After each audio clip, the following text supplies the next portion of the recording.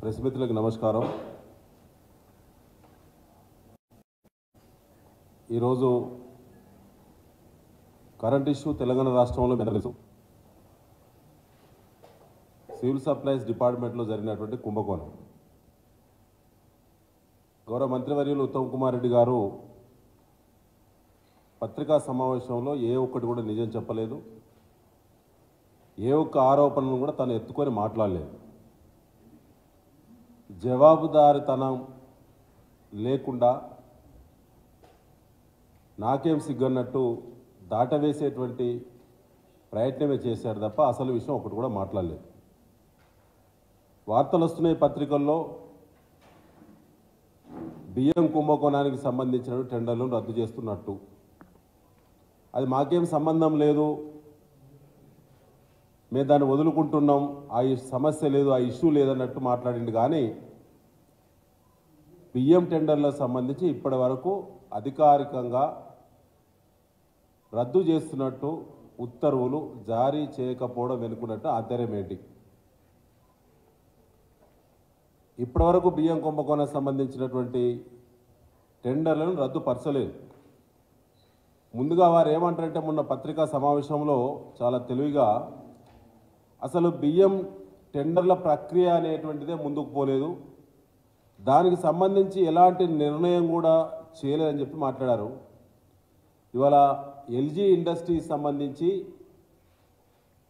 సన్న బియ్యం టెండర్ దక్కినట్టు వారికి ప్రొసీడింగ్స్ ఇష్యూ చేసింది మేనేజింగ్ డైరెక్టర్ తెలంగాణ రాష్ట్ర పౌర సరఫరాల శాఖ తరఫున. కానీ వారు ఏం సంబంధం లేనట్టు తప్పించుకునే ప్రయత్నం చేస్తూ ఉన్నారు. అది ప్రజలందరూ గమనించాలని చెప్పి నేను ప్రత్యేకంగా విజ్ఞప్తి చేస్తూ ఉన్నాను. ముఖ్యంగా మిత్రులారా ఇవాళ మీ అందరూ తెలుసు ఇవాళ జరిగినటువంటి దాంట్లో రెండో కుంభకోణం గతంలో మా బీఆర్ఎస్ వర్కింగ్ ప్రెసిడెంట్ కేటీఆర్ గారు చాలా స్పష్టంగా ఆధారాలతో కూడిన అన్ని విషయాలు చాలా స్పష్టంగా చెప్పారు. అందులో ధాన్యం టెండర్లకు సంబంధించి ఎవరైతే బిడ్డర్స్ ఉన్నారో టెండర్దారులు ఉన్నారో వారిక్కడ వసూలు చేసినటువంటి డబ్బంతా ఆంధ్రప్రదేశ్లో దాస్తున్నారు.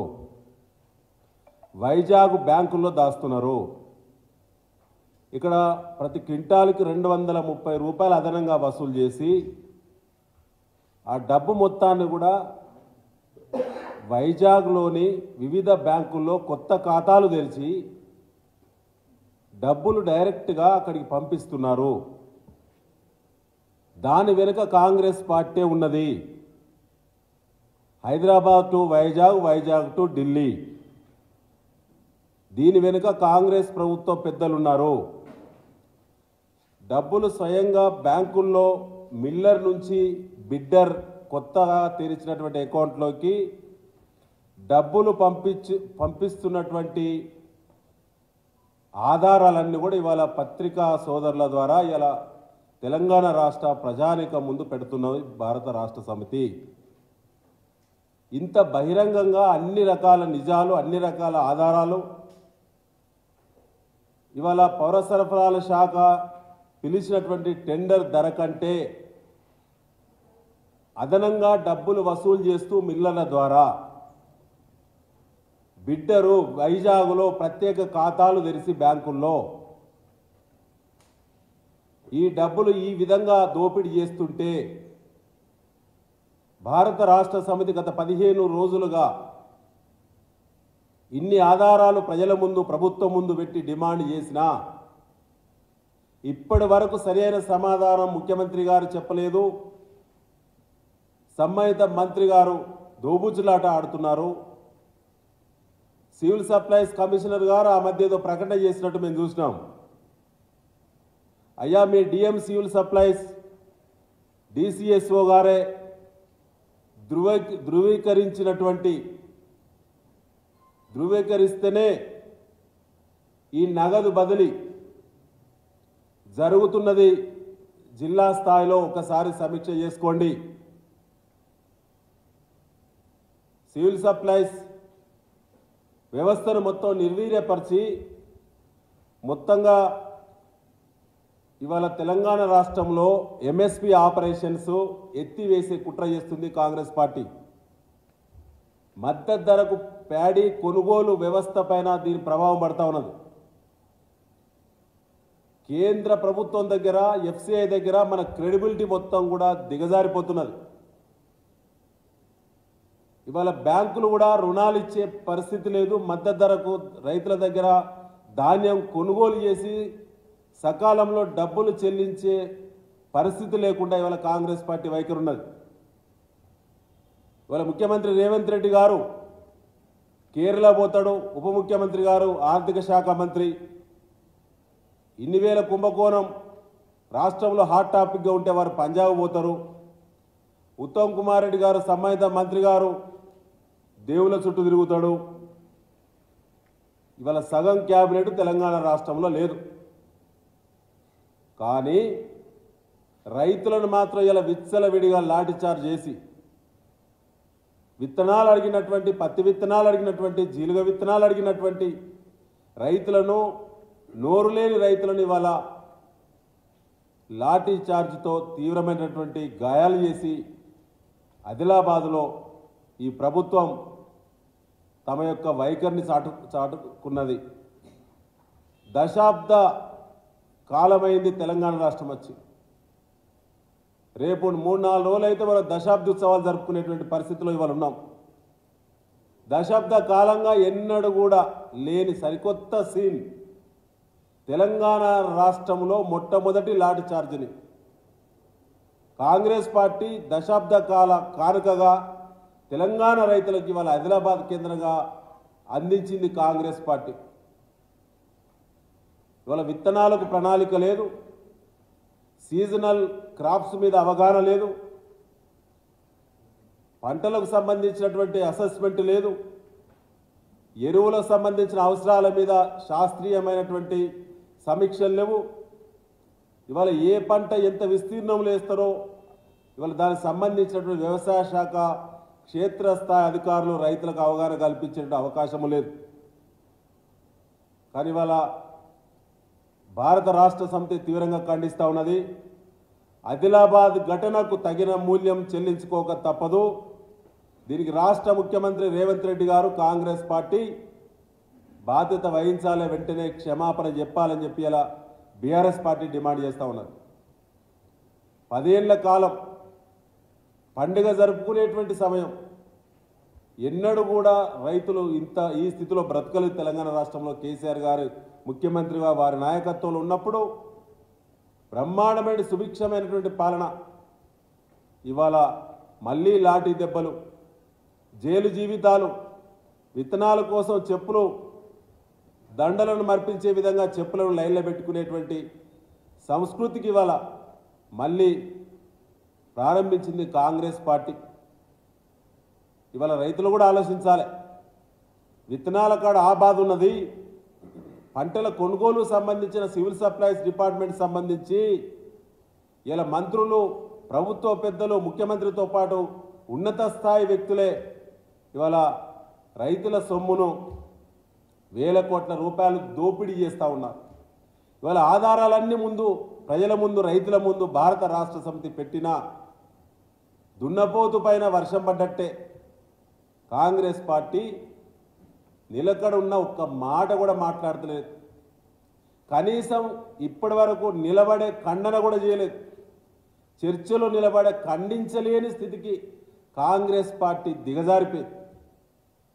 ముఖ్యంగా మిత్రులారా ఇవాళ ఎంఎస్పీ ఆపరేషన్స్ లేకుండా కాంగ్రెస్ పార్టీ కుట్ర చేస్తుంది ఎందుకంటున్నంటే నిన్న ఇవాళ పత్రికల్లో వార్తలు వస్తూ ఉన్నాయి.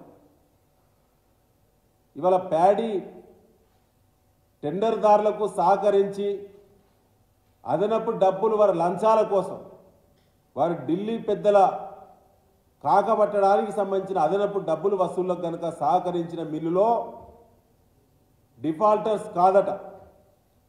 సహకరించకుండా ఉన్నటువంటి వాళ్ళు మాత్రం డిఫాల్టర్స్గా చేస్తామనేటువంటి వార్తలు జరుగుతూ ఉన్నాయి. దీనివల్ల ఇలా పద్దెనిమిది వందల యాభై పైచిలుకు మిల్లులు దగ్గర స్టాక్ ఉంటే ఆ స్టాక్ ఉన్నదని చెప్పి మీరే టెండర్లను పిలిచారు. ఇవాళ ప్యాడీ తీసుకోమని రైతులు గగ్గోలు పెడుతుంటే మీ బిడ్డర్స్ మాత్రం మీకు లంచాలు ఇచ్చిన వందల కోట్ల రూపాయలు ఇచ్చినటువంటి బిడ్డర్స్ మాత్రం అదనంగా రెండు వందల ముప్పై రూపాయలు ఇస్తేనే వాళ్ళ అకౌంట్ మేము సెటిల్ చేస్తామంటున్నారు. అయ్యా మీ ప్రత్యేకంగా మీ సివిల్ సప్లైస్ కార్పొరేషన్ ఎండి నుంచి ఉత్తర్వులు వస్తూ ఉన్నాయి. ఏమని వస్తూ ఉన్నాయంటే ప్యాడీకి సంబంధించినటువంటి రిలీజ్ ఆర్డరు మిల్లర్ల వారిగా ఎండి ఆఫీస్ నుంచి రిలీజ్ ఆర్డర్ తీసుకొస్తా ఉన్నారు.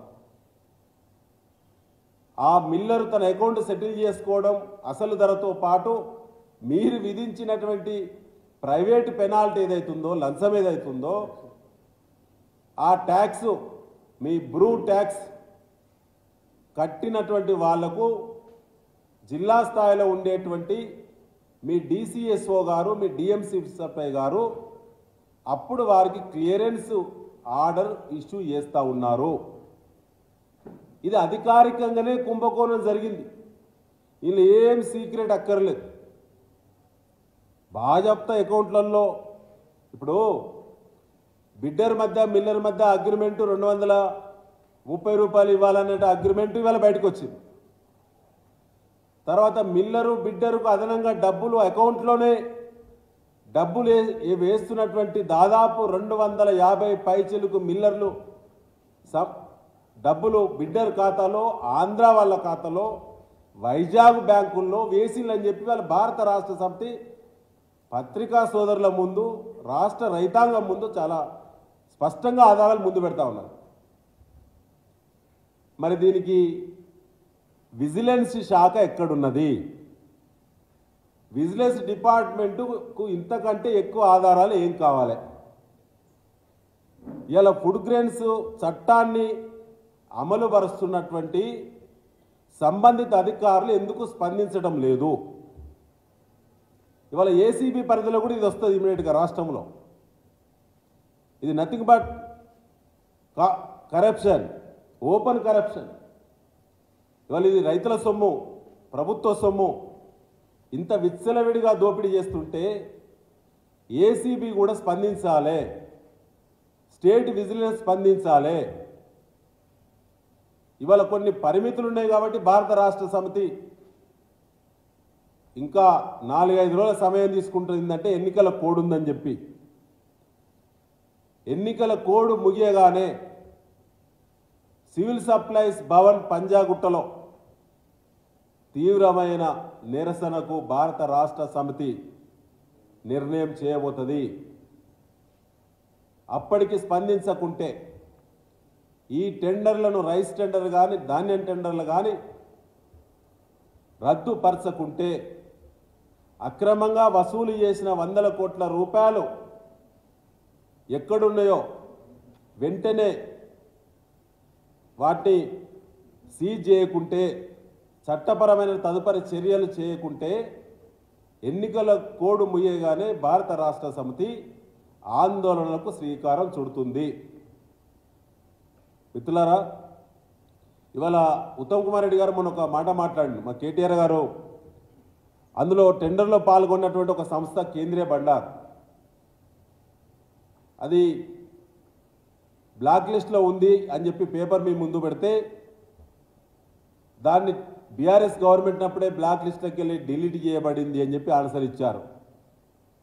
అదే గొప్పతనం కాదు ఉత్తమ్ కుమార్ రెడ్డి గారు.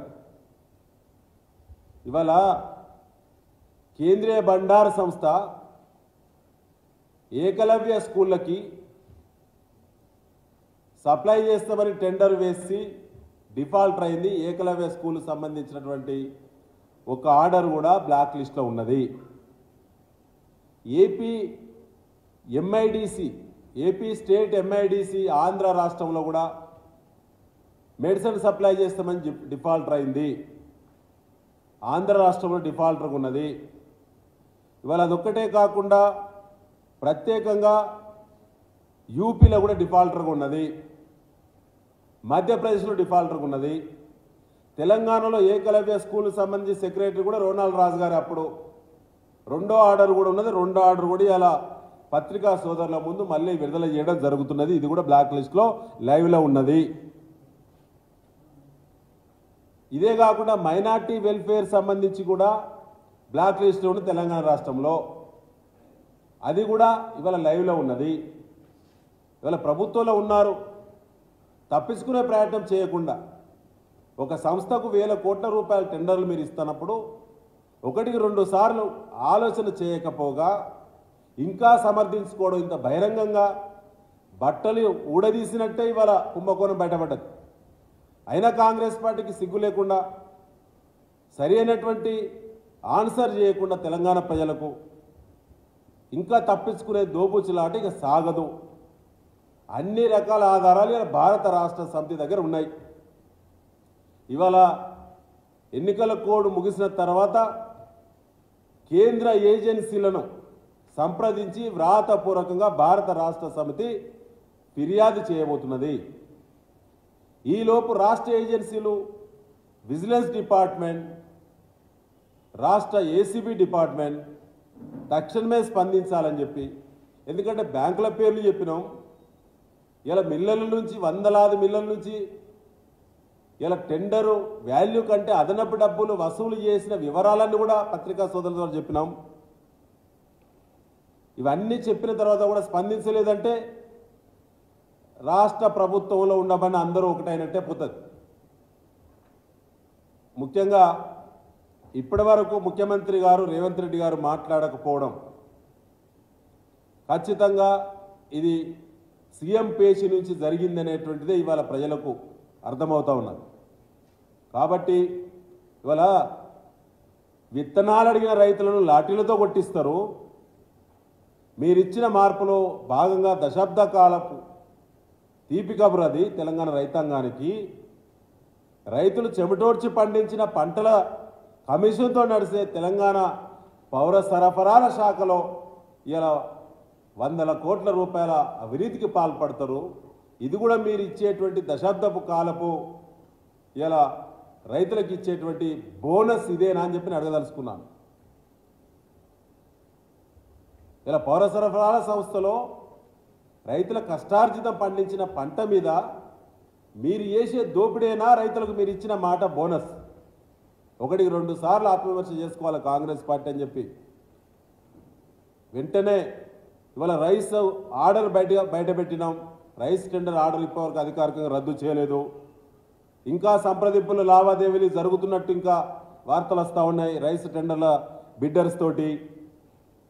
బ్లాక్ లిస్ట్లో ఒకసారి కాదు నాలుగు సా నాలుగు దిక్కుల బ్లాక్ లిస్ట్ ఉన్న సంస్థల వివరాలు మేము ముందు పెట్టినాం.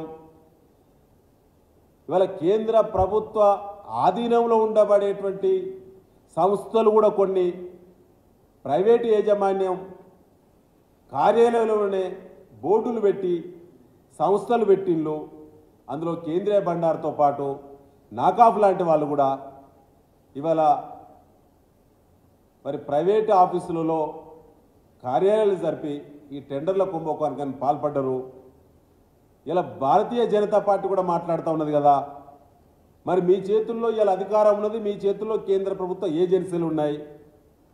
ఇదంతా సమీక్షించే నియంత్రించే ఫుడ్ గ్రెయిన్స్ చట్టాలను అమలుపై నిత్యం సమీక్షించే సంస్థ ఫుడ్ కార్పొరేషన్ ఆఫ్ ఇండియా కేంద్ర ప్రభుత్వం కదా. మీరు ఇప్పటివరకు చర్యలు తీసుకునే విషయం నుంచి మీరు పక్కకుండి ఆరోపణలకే పరిమితం కావడం కరెక్ట్ కాదు. టెండర్లో పాల్గొన్న నాలుగు సంస్థల్లో రెండు సంస్థలు కేంద్ర ప్రభుత్వ సమీక్షలో సమీక్షించే మీ సంస్థ మీ కేంద్ర ప్రభుత్వానికి సంబంధించిన సంస్థలే ఉన్నాయి. అవి ప్రైవేటు వ్యాపారస్తులతో కుమ్మకిట్లయినాయి ఆ సంస్థలలో కూడా డబ్బులు ఇట్లా పోతున్నాయి అకౌంట్లకి? భారతీయ జనతా పార్టీ కూడా మాట్లాడాలి. ఇవాళ మా పార్టీ తరఫున మా పార్టీ వర్కింగ్ ప్రెసిడెంట్ గారు కేటీఆర్ గారు చాలా స్పష్టంగా రాష్ట్ర ప్రజలకు ఈ కుంభకోణాలకు సంబంధించిన అన్ని వివరాలు ప్రజల ముందు పెట్టారు. మరి కేంద్ర మంత్రి కూడా కిషన్ రెడ్డి గారికి తీర్కలేదా? ఒక్కనాడైనా పల్లెత్తి మాట మాట్లాడు భారత్ మన భారతీయ జనతా పార్టీ అధ్యక్షుడు కానీ కేంద్ర మంత్రి కూడా కిషన్ రెడ్డి గారు కానీ కాబట్టి బీజేపీ పార్టీ చేసే ఆరోపణలు చేయొచ్చు. కానీ బాధ్యతలను విస్మరించి ఆరోపణలకు పరిమితం కావడం కరెక్ట్ కాదు. అనుమానాలన్నీ బలపడతాయి. మీరు చేయాల్సిన చర్యలు మీ చేతులు ఉన్నటువంటి చర్యలు ఎందుకు చేయడం లేదు? మీరు ఢిల్లీకి వెళ్ళి ఎందుకు రాతపూర్వకంగా ఫిర్యాదు చేయడం లేదు పదిహేను రోజులుగా? మీ రాష్ట్ర శాఖ ఎందుకు స్పందించడం లేదు? స్వయంగా కేంద్ర మంత్రి గారే ఉన్నారుగా కిషన్ రెడ్డి గారు. ఎందుకు ఎఫ్సిఐ అధికారులను పిలిచి వెంటనే జరిగినటువంటి తతంగం పైన ఎందుకు సమీక్ష చేయడం లేదు? ఇవన్నీ మీ పరిధిలో ఉన్నాయి. కాబట్టి ఈ కాంగ్రెస్ పార్టీ చేసినటువంటి ఈ కుంభకోణం ఇది నిలబడ్డది. నూటికి నూరు శాతం రుజువు కావడానికి సంబంధించిన అన్ని రకాల ఆధారాలు ఇలా భారత రాష్ట్ర సమితి దగ్గర ఉన్నాయి. ఎన్నికల కోడ్ ముగియగానే ఇలా సివిల్ సప్లైస్ భవన్ ముట్టడి తప్పదు. అప్పటికీ కాంగ్రెస్ పార్టీ తప్పును సవరణ చేసుకొని రైతులకు క్షమాపణ చెప్పి కుంభకోణం పేరు మీద వసూలు చేసినటువంటి వందల కోట్ల రూపాయలు మొత్తం కూడా తిరిగి మరి ఎక్కడి నుంచి డబ్బులు వసూలు చేసి అక్కడికి తిరిగి రిటర్న్ చేయాలి. తర్వాత ఏజెన్సీలకు ఎక్స్టెన్షన్ ఇవ్వకుండా టెండర్ ఎక్స్టెన్షన్ ఇవ్వకుండా వాళ్ళ పైన చర్యలు చేసి వారికి సంబంధించిన సెక్యూరిటీ డిపాజిట్ ఏది ఉందో అది ఫోర్ఫిట్ చేయాలని చెప్పి భారత రాష్ట్ర సమితి మీ ద్వారా డిమాండ్ చేస్తా ఉన్నది.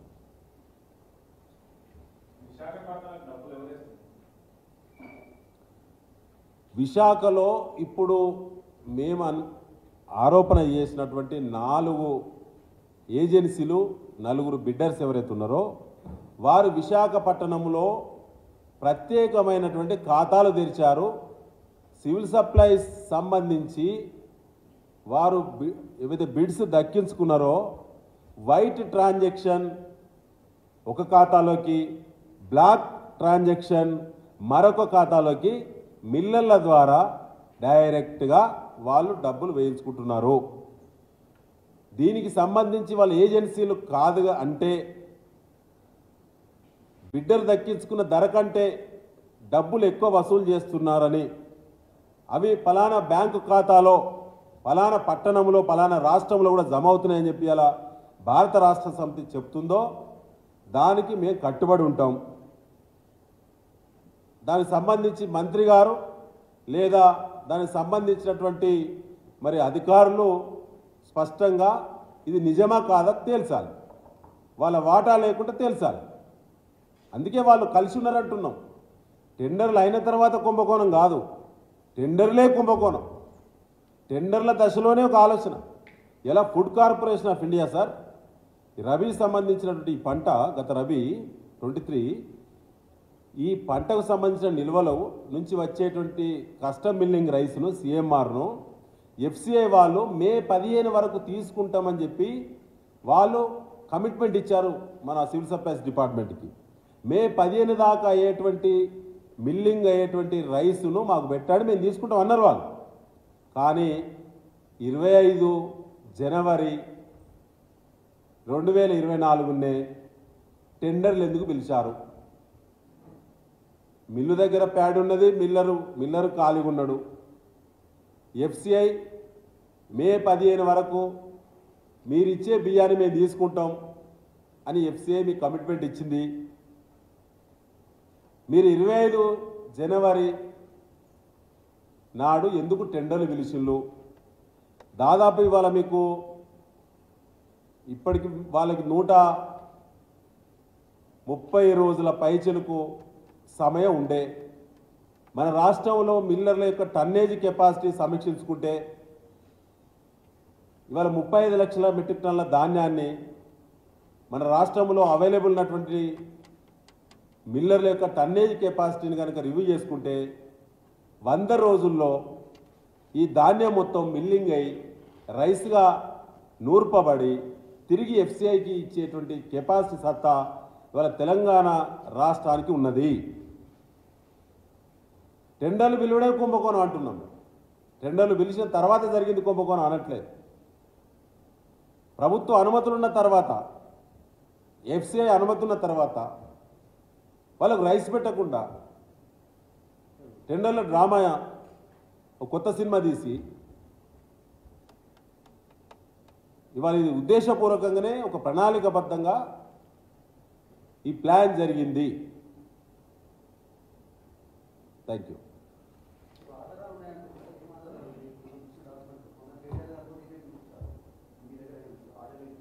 మేమే అంటున్నాం కానీ వారు అనట్లేదు. ఉత్తమ్ కుమార్ రెడ్డి గారు ప్రెస్ మీట్ కనుక చూస్తే నవ్వస్తుంది. ఇవాళ ఉత్తమ్ కుమార్ రెడ్డి గారు నిజం చెప్పలే అబద్ధం ఆడలే. నీళ్ళలో ఏలుపెట్టి నోట్లో పెట్టాడు. కానీ బీఆర్ఎస్ పార్టీ కేటీఆర్ గారు చేసినటువంటి ఆరోపణ మీద వన్ పర్సెంట్ కూడా సూటిగా సమాధానం చెప్పలే ఒక్క ఇష్యూ కూడా అటెండ్ చేయలే. రెండోది ప్రధానంగా ఇవాళ వారి తర్వాత ఎమ్మెల్సీ జీవన్ రెడ్డి గారు సీనియర్ నాయకులు వారు. వారు రైతు నాయకులే అని చెప్తారు ఎప్పటికీ. వారు కూడా దాని కంటిన్యూషన్ ప్రెస్ మీట్లో మాట్లాడారు వారు మాట్లాడింది ఎట్లుందంటే బిడ్డర్ మధ్య మిల్లర్ మధ్య ఎన్నో లావాదేవీలు జరుగుతాయని మాకే సంబంధం అన్నాడు. ఆడ స్టాక్ లేదు కాబట్టి రైస్ మిల్లర్ సెటిల్ చేసుకుంటున్నాడు బిడ్డర్ తోటి. కాబట్టి రెండు వందల రెండు వందల రూపాయలు మాకేం సంబంధమే? మేము క్లియరెన్స్ ఇస్తాం మాకే సంబంధం మా ప్రభుత్వానికి? మమ్మల్ని అంటున్నదా అన్నాడు. వంద శాతం ఒప్పుకున్నట్టే. రెండు వందల ఇరవై మూడు రూపాయలు అదనంగా వసూలు చేస్తున్నామని చెప్పి ఉత్తమ్ కుమార్ రెడ్డి గారి ప్రెస్ మీట్లో పాల్గొన్న పెద్దలందరూ కూడా మాట్లాడిళ్ళు. అంటే నథింగ్ బట్ ఉత్తమ్ కుమార్ రెడ్డి గారు మాట్లాడినట్టే లెక్క. కాబట్టి ఏవైతే ఆరోపణలు వచ్చినాయో వన్ పర్సెంట్ కూడా అందులో ఎక్స్ట్రాగా చెప్పడం కానీ ఎవిడెన్స్ లేకుండా మాట్లాడడం కానీ ఏ ఒక్కటి కూడా లేదు. అయితే ఇవాళ ఆధారాలు ఉన్నాయని చెప్పి ఇన్ని రకాలు చెప్తుంటే కూడా వారు మాట్లాడొచ్చు కదా పాయింట్ టు పాయింట్ మాట్లాడచ్చు కదా. ఇవాళ మేము అంటున్నాం మిల్లర్ మధ్య బిడ్డల మధ్య ట్రాన్సాక్షన్ జరిగింది అంటున్నాం. జరగలేదని చెప్పండి జరిగితే మేమే బాధ్యులని చెప్పండి జరిగితే సంబంధిత ఏ జిల్లాలో ఆ జిల్లా అధికారులపైన చర్యలు చేస్తామని చెప్పండి. ట్రాన్సాక్షన్ జరిగిన తర్వాతనే మీ డీసీఎస్ఓ మీ డిఎంసీ సప్లైస్ ఎవరైతే ఉన్నారో వాళ్ళు క్లియరెన్స్ ఇస్తున్నారండి.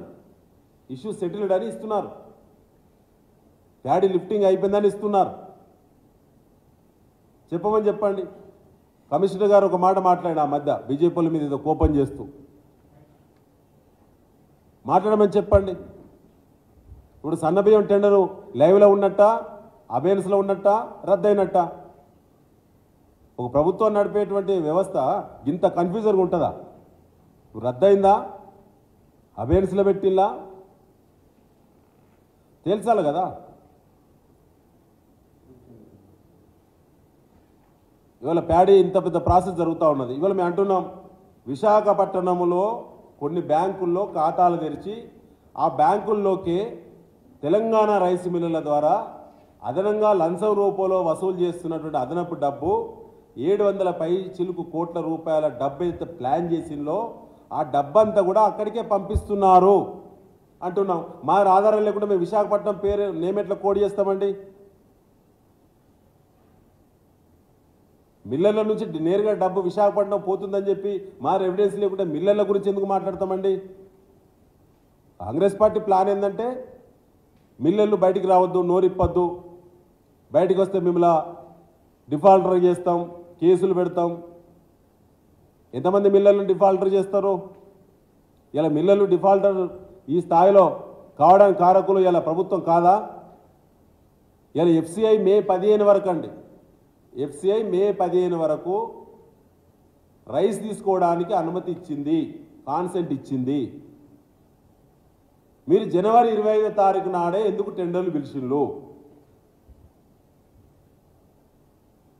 జనవరి ఇరవై ఐదు నుంచి మిల్లింగ్ కాకుండా ఆపింది ఎవరు? ప్యాడీ వల్ల డ్యామేజ్ జరుగుతుందని వాళ్ళే అంటున్నారు కాంగ్రెస్ పార్టీ వాళ్ళు. కలర్ చేంజ్ అవుతుందని ఉత్తమ్ కోరెడ్డి గారు చాలా గొప్పగా మాట్లాడిండు. మీరే ఆపిల్ కదా? ఇరవై ఐదు జనవరి నుంచి ఇప్పటివరకు ఆపింది మీరు కదా? ఇప్పటివరకు మిల్లింగ్ జరుగుతుంటే ఉంటే ఇప్పటివరకు ముప్పై ఐదు లక్షల మెట్రిక్ టన్నుల ధాన్యం మిల్లింగ్ అయిపోయేది కదా? రైస్ వెళ్ళిపోయేది కదా? డబ్బులు వచ్చి సివిల్ సప్లైస్ అకౌంట్లో డబ్బులు జమ అయ్యేది కదా? బ్లండర్ అండి. Civil supplies department. నేను గత అనుభవంతో చెప్తున్నాను గతంలో ఆరు సీజన్స్ నేను హ్యాండిల్ చేశాను. చైర్మన్గా నేను పనిచేశాను. వారు ఒకవేళ మాట్లాడదలుచుకుంటే బీఆర్ఎస్ పార్టీకి సమయం వారు ఇచ్చే పరిస్థితులు లేరు. అందుకే అంటున్నాం కదా ఎన్నికల కోడ్ తర్వాత ఎందుకంటే పరిమితులు ఉన్నాయి మీకు తెలుసు. ఎన్నికల కోడ్ తర్వాత భారత రాష్ట్ర సమితి దశల వారీగా దీన్ని న్యాయపరంగా ఏజెన్సీల పరంగా ఆందోళన పద్ధతిలో తప్పకుండా కాంగ్రెస్ మీద పోరాటం చేస్తాం. దీనికి సంబంధించిన బాధ్యుల పైన చర్యలు జరిగేంత వరకు వదిలిపెట్టాం.